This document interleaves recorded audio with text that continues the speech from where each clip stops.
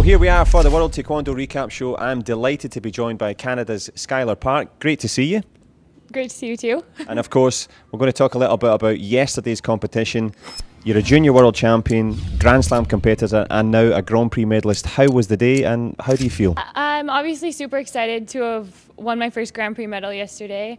Uh, as of starting from last year, the goal was always uh, to win a Grand Prix medal, always steps working in towards the ultimate goal.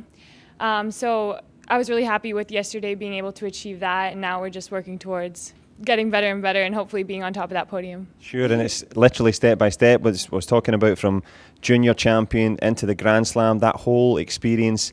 What do you feel that you've learned from last year in terms of Grand Prix experience that's put you onto the podium this time? Uh, yeah, last year was like a huge learning experience for me. So uh, coming from the juniors, it's very different, I guess. It's a very different game, and there's a lot to learn. It's more mentally, you have to be stronger mentally, tougher, and it's just being able to start off the year being on the podium is really exciting. So. And if we can dig into yesterday a little bit, some tough matches and lots of high points and lots of learning. Give us a little feel of, of the rivals of the matches that you had. Uh, so yesterday my first match was against Serbia. It was a good match. Uh, she's a good, uh, very strong fighter. So I uh, started off the match behind, but I was able to stay calm and then uh, able at the end to uh, get ahead and win that match. And then next I fought Brazil, which again uh, was a very tough match. And then in the quarterfinals, uh, I was against Rachel Booth from Great Britain.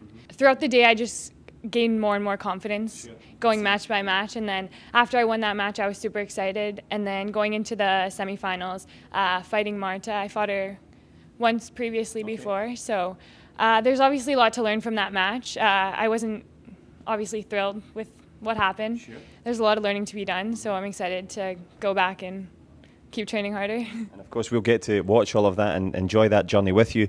On that journey, obviously, your father is your coach. What's that dynamic like having also your mother as like the team manager as well? To have that close support around you must be helpful. Uh, yeah, it's obviously uh, super helpful. Uh, I'm super, I guess, blessed to be able to have that support around me, not only from my parents, but my brothers are also on the Canadian national team. Uh, they were just fighting at the in Tunisia at the World Championships, so my whole family was there too, and just my whole family back home.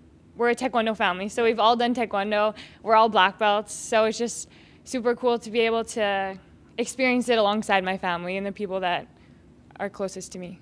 The journey between now and the Grand Prix final, which is obviously at the end of the year, thoughts, plans, do you go straight back into training? Do you take a little break now?